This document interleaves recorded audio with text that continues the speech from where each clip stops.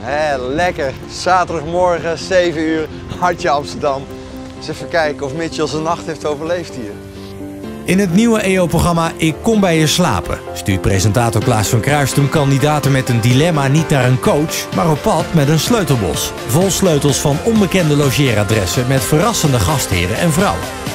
Word maar even rustig wakker, want uh, je gaat naar je volgende adres van. Al couchsurfend gaan de kandidaten op zoek naar antwoorden op hun levensvragen. In drie dagen tijd ontmoeten ze totaal verschillende mensen. Die hun nieuwe en soms confronterende inzichten geven. Dus dan ben jij van mening dat het ook overbodig is geweest dat ik mijn borst heb laten amputeren omdat ik er zelf voor had kunnen zorgen dat ik geen kanker zou krijgen? Je moet altijd doen waar jij jezelf goed bij voelt. Ik geloof in de kracht van de mens. Je kan vallen, maar je moet altijd één keer meer opstaan. Dat is vechten. Ik kom bij je slapen. Vanaf woensdag 7 mei bij de EO op Nederland 3.